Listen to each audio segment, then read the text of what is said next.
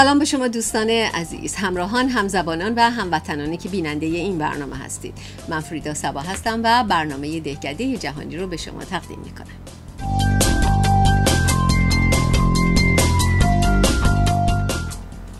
بله نقش زنان ایرانی در جامعه موضوعی است که بارها توسط نویسندگان، محققین و جامعه شناسان مورد بحث و بررسی قرار گرفته.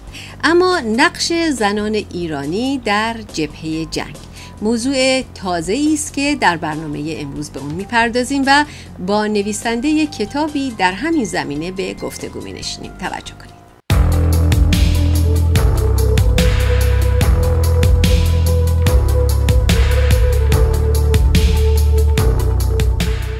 خب همطور که توجه کردید مهمان امروز برنامه من آقای دکتر متئو فرزانه استاد تاریخ در دانشگاه نورت ایسترن ایلینوی در شیکاگو هستند. بسیار خوش آمدید دکتر فرزانه گرامی.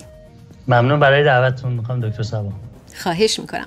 دکتر فرزانه در برنامه گذشته که با شما داشتیم در مورد تالار مصدق بورس تحصیلی به دانشجویان و کلاس های آموزشی و واحد های درسی که در رابطه با تدریس زبان فارسی بود با هم صحبت کردیم.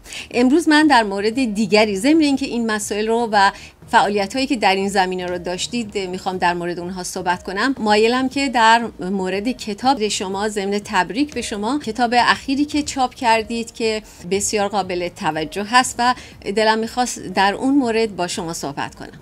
ممنون میشم. مرسی. خواهش می‌کنم. به طور کلی شما مخاطبینتون چه کسانی هستند و چه پیامی رو می‌خواستید به اونها برسونید؟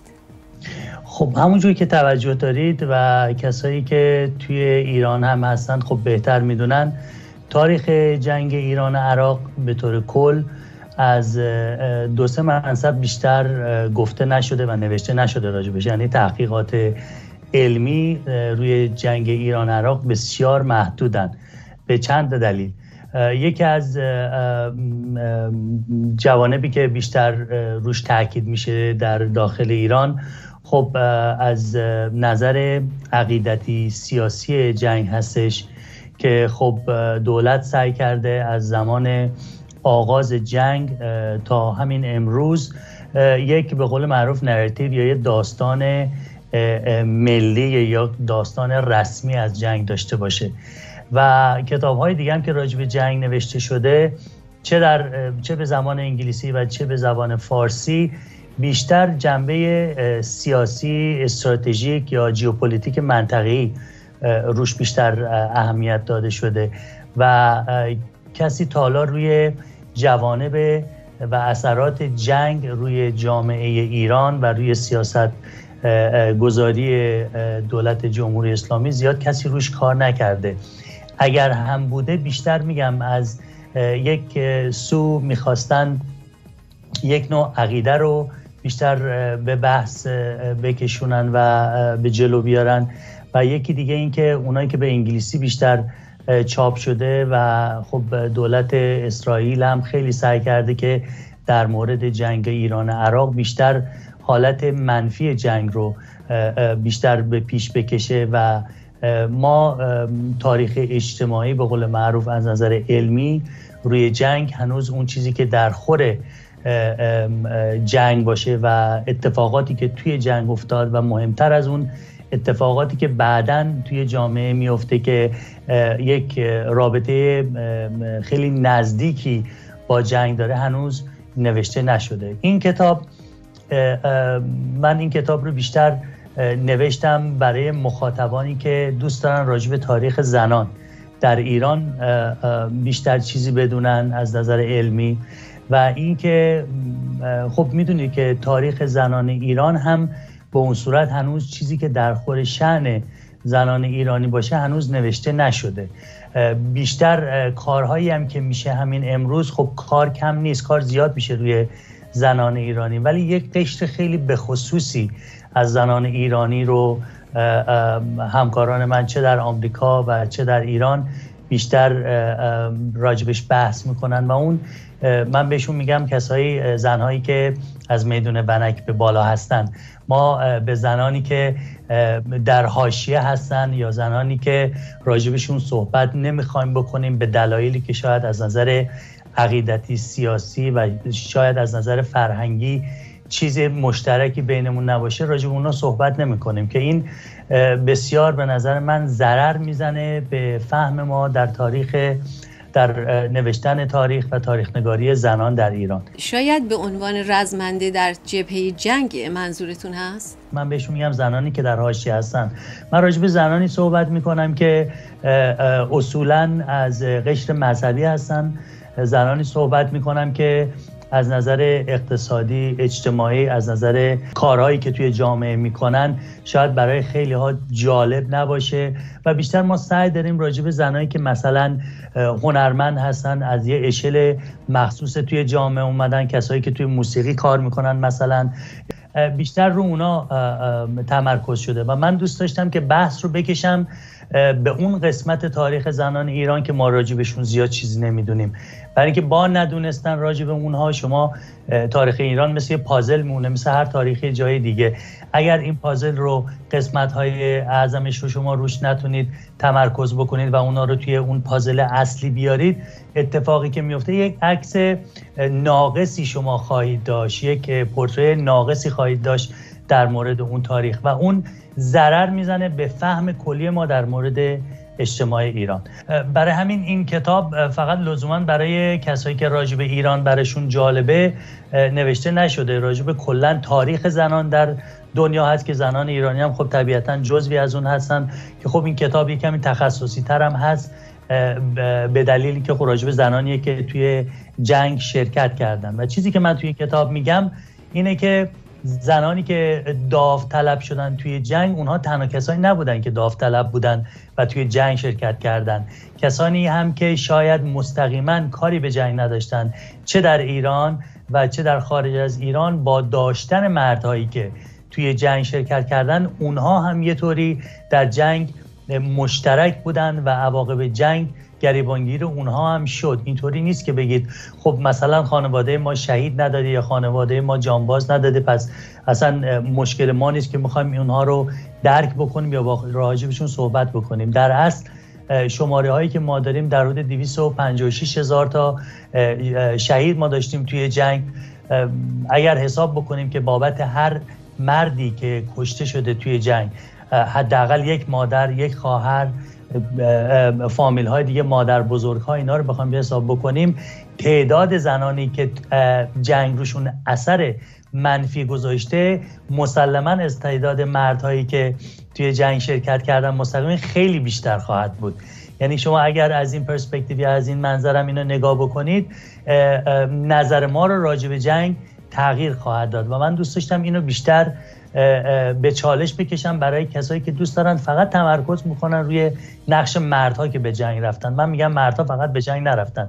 زنها هم به جنگ رفتن برای به گونه های مختلف. بله خب در اسطوره ها ما زنان رزماور داشتیم در اسطوره های ایران و در مجاهدین خلق هم دیدیم که زنان رزمنده تعداد بسیاری شرکت داشتن و مثل مردان در کنار مردان جنگیدن. آیا شما به گروه های مختلف زنان در جنگ اشاره کردید یا به طور کلی چه نوع زنانی در کتاب شما سوژه شما هستن؟ من هر زنی که راجع به شرکت خودش در جنگ چیزی نوشته بود یا مصاحبه داده بود یا سخنرانی کرده بود سعی کردم از همه اینا استفاده بکنم و داستان زنان رو توی یک چارچوب تاریخی که در خور یک چاپ علمی هست اونا رو بگنجونم حالا اگر اون گروهک هایی که شما اسمشون رو می‌برید اگر اونها قسمتی از اون بودن خب راجبشون صحبت شده یا گروه های چپی دیگه که بودن راجبشون صحبت شده. ولی اگر چیزی ننوشته باشن مورخین کلا نمی‌تونن برن منبع رو خودشون درست بکنن. منبع باید باشه. و ما من این رو سعی کردم خیلی در موردش بیشتر تاکید داشته باشم که من این داستان هایی که دارم تعریف می‌کنم بیشتر از منظر خود زنها هست که من دارم اینا رو به نقش تاریخیشون می‌پردازم توی کتاب. خب این زنان اکثرا آیا دارای یک نظر و عقیده سیاسی بودن؟ گروهی که شما توجه داشتید؟ مسلما نه. این چیزی که مردم توی فکرشون دارن که فکر می‌کنن تنها کسایی که توی جنگ بودن و شرکت کردن به طور کل همه قسمتی از نظام جمهوری اسلامی بودن. شاید قسمت کثیرشون اینطوری باشه. ولی من فکر نمی کنم شما بتونید همه زنانی که توی جنگ شرکت کردن چه مستقیم و چه غیر مستقیم بتونیم بگیم اینا حالا همه از یک عقیده خیلی به خصوص پیروی می‌کردن یا از یه رهبری شخصی پیروی می‌کردن. اینطور نیست. توی کتاب من نشون میدم که خب زنانی که توی منطقه جنگی بودن مثل خرمشهر آبادان مثل ایلام کردستان اونها یک سریشون بله قسمتی از اون جامعه بودن که عقیدتا باور داشتن به کاری که داشتن می‌کردن. و یه سریشون هم به جنگ کشیده شدن. کسایی که خونهشون رو بمباران کرده بودن.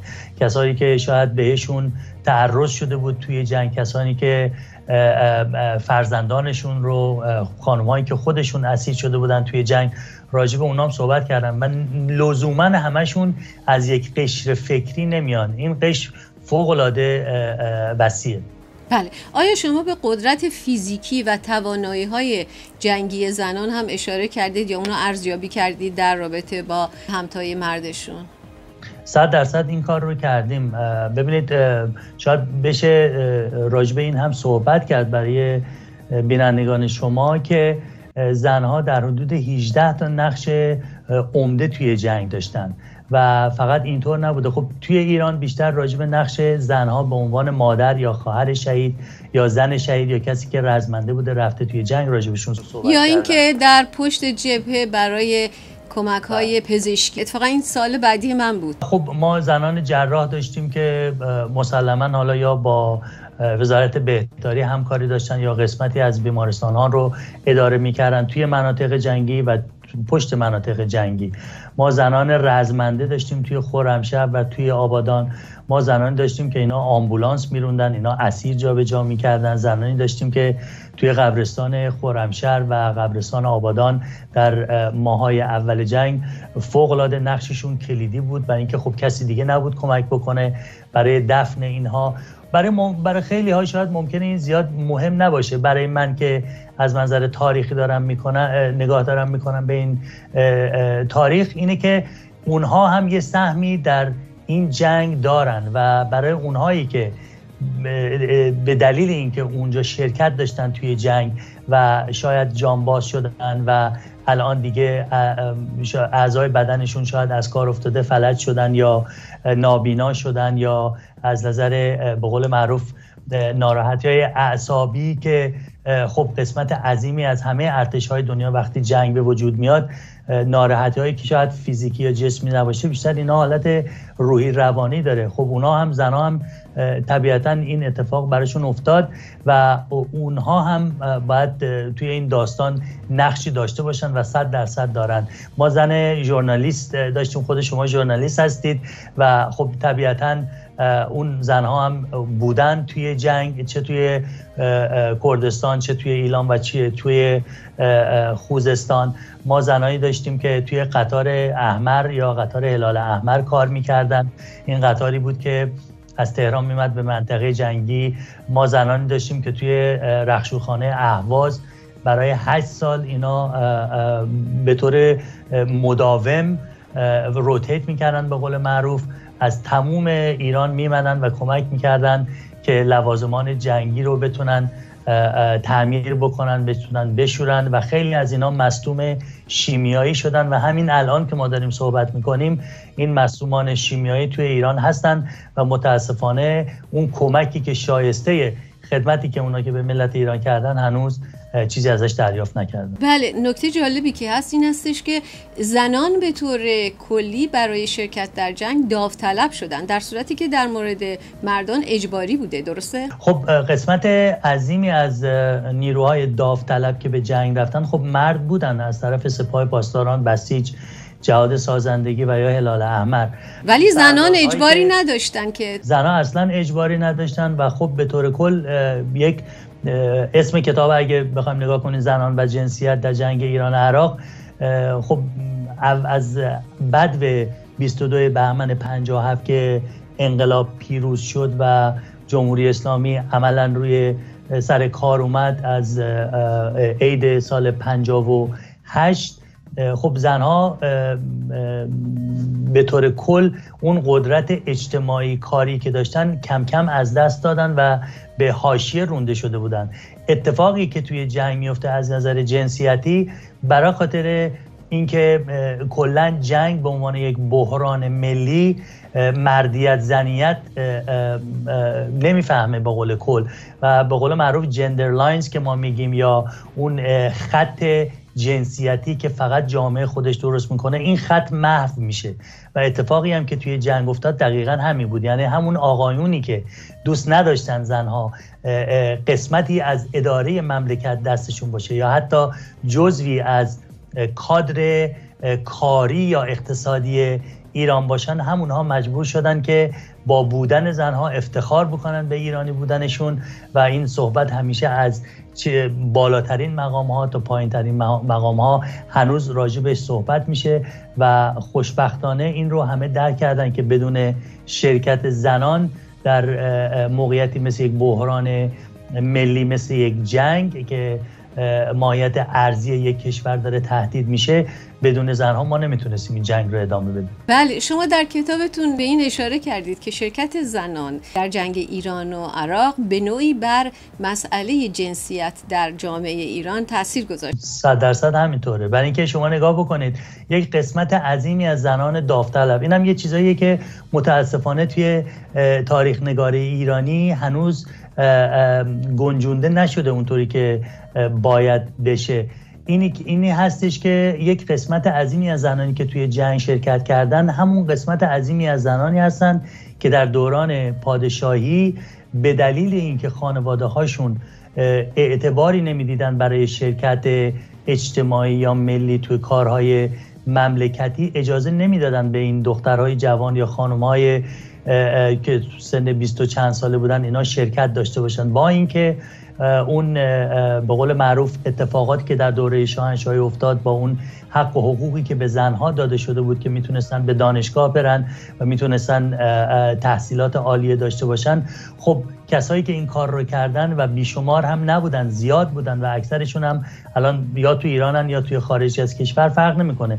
اون قسمت عظیمی که من بیشتر دوست دارم راجبشون صحبت بکنم و تاریخ نگاری بکنم اونایی هستن که به دلایلی یا بی سواد ماندن یا کم سواد بار اوورده شدن به دلیل مذهبی عقیدتی که خانوادهشون اجازه نمی‌دادن بله. جنگ جنگ به طور کل این فرصت رو بهشون داد و این اعتماد به نفس رو بهشون داد و مردها هم دیدن همون مردهایی که شاید ضد زن بودن این رو متوجه شدن و متاسفانه یک جنگه که شاید بتونه این فرصت رو به خیلی ها بده که خیلی چیزهایی که نمی‌دیدن قبلا ببینن. و این به نظر من از نظر تاریخی فوق العاده مهمه. البته من یه نکته دیگه ایرم در این دیدم. از آغاز خود انقلاب این موضوع شروع شد و اون مربوط به تغییر موقعیتی که زنان بسیار مذهبی یا زنانی که در خانواده های مذهبی بزرگ شده بودند به وجود اومد. برای اینکه خانواده های بسیار متعصب حتی صدای زنان خودشون رو نباید میذاشتن که همسایه یا کسی دیگه ای بشنوه. اما ما بعد از انقلاب می‌بینیم که همین زنان با چادر و هجاب مذهبی در خیابون فریاد می‌زنن و شاید برای طبقه به قول شما بالای ونک یک سری آزادی ها ازشون گرفته شده. اما برای قشر مذهبی و عقیدتی به نظر من راهها بازتر شده و خیلی از موقعیت قبلیشون جلو اومدن. نظر شما چیست؟ خب طبیعتا همینطوره. من تنها قشری که می‌تونم فکر بکنم که واقعا از طرف زنان که شاید اون حقوقی که شما میگید ازشون گرفته شده بود شاید مثلا توی قوه قضاییه باشه. مثلا قدرت زنان که به عنوان قاضی بودن دیگه نمی‌تونستن قضاوت بکنن. شاید اون باشه. ولی اگر شما نگاه بکنید به اکثر پوزیشن یا مقام هایی که زنها داشتن با اینکه سعی شد اینا رونده باشن به حاشیه اتفاقی که افتاد همون زنها برگشتن و اگر شما با کسایی که تو همون قوه قضاییه بودن اون موقعی که الان توی خارج از کشور هستن صحبت بکنین همونا به شما همین رو خواهند گفت که چی؟ اکثرا اینها رو اخراج کردن کسی اصلا قاضی زن قاضی زن نه دارم میگم. شغلای دیگه. کسانی بودن که نتونستن مثلا خانم مهرنگیز کار رو شما اگه نگاه بکنید ایشون فعالیت خودش رو ادامه داد توی دولت جمهوری اسلامی و وکالت می‌کرد تا وقتی که دیگه نتونست اون موقعیت رو که برای زنها درست شده بود بتونه تحمل بکنه و طبیعتا از ایران اومد بیرون. خب علتش چی بود؟ دکتر فرزانه حالا نمی‌خوام وارد اون بحث بشیم. بیشتر دلم می‌خواد راجع به کتاب شما صحبت کنیم. ولی به طور کلی مسئله زنان چیزی نبود که فقط مشکل که بعد از انقلاب براشون به وجود اومد این نبود که فقط اون کاری که قبلا داشتن بتونن انجام بدن. محدودیت های خیلی خیلی بیشتری بر اونها تحمیل شده که حالا موضوع صحبت این برنامه نیست. به هر صورت خواستم ببینم شما موافقید با من که حداقل طبقه ای که متعصب بودن و از خانواده های مذهبی می اومدن در جامعه زنان الان خیلی بیشتر فعالن در جامعه و موقعیت های بهتری دارن در حالی که قشر بالای ونک خب بسیاری از آزادی ها و بسیاری از مشاغلشون رو از دست دادن. بگذریم. من می‌خوام در مورد کتابتون صحبت کنم جناب دکتر فرزانه. شما از چه منابعی استفاده کردید در این تحقیقتون؟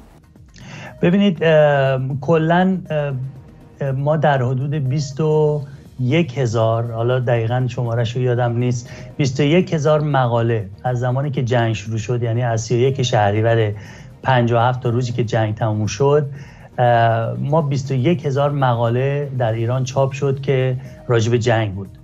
از کل اینها فقط 91 مقاله راجب زنها صحبت می‌کنن یا حتی اصلا حرفی راجب زن به عنوان واژه زن یا خواهر یا زنان اینا رو من رفتم تحقیق کردم و 91 مقاله راجب اونا گفته شده. خب این نشون میده که از اول سعی نشده که شرکت زنان رو کسی بخواد راجبش بحث بکنه. اتفاقی که میفته بیشتر اینه که توی یک سری از نشریاتی که خب عقیدتی هم بودن کتاب هایی بود که چاپ شده بود ولی خب اینا زیاد به قول معروف مخاطب زیاد زیادی نداشتن توی بحبه جنگ که بودیم. اتفاق بعدی که افتاد بعد از جنگ و بیشتر در 15 16 سال اخیر شاید 20 سال اخیر زنها این فرصت بهشون داده شده که راجب داستان خودشون از زبان خودشون بیان بنویسن و اتفاقاتی که افتاده و خدمت که کردن توی زمان جنگ راجب اونا صحبت بکنن.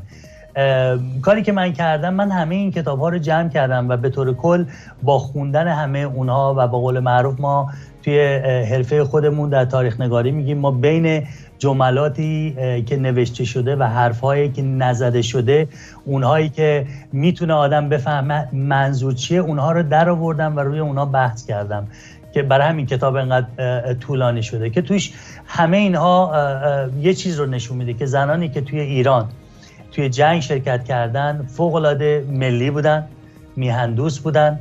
یک سریشون به قول معروف دلیلی که شاید این جرأت رو به خودشون دادن که توی یک محیط فوق وحشتناک جنگی بجنگن برای ماهها و سالها اون عقیدهشون به عقیده های شیعه اسلامی هست و یه سریشون هم نه برای خاطر اینکه واقعا ایران رو دوست داشتن. ولی اینو نمی‌تونیم ما جدا بکنیم که بگیم زنایی که شرکت کردن یا این بودن یا اون. به نظر من این دوتا باید با هم دیگه ادغام بشن. خواستم ببینم آیا این ترجمه خواهد شد به فارسی؟ چون مخاطبین فارسی بسیار خواهد داشت. خب توی ایران یک نش هست که داره سعی می‌کنه این رو خب ترجمه بکنه.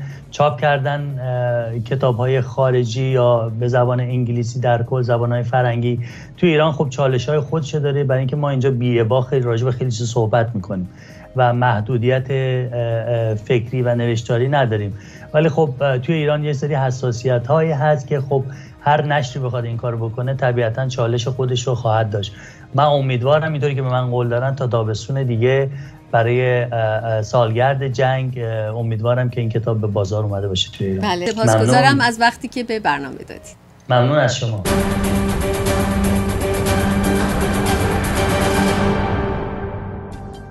بله متاسفانه به پایان وقت برنامه امروز رسیدیم. امیدوارم که از گفتگوی این هفته استفاده کرده باشید.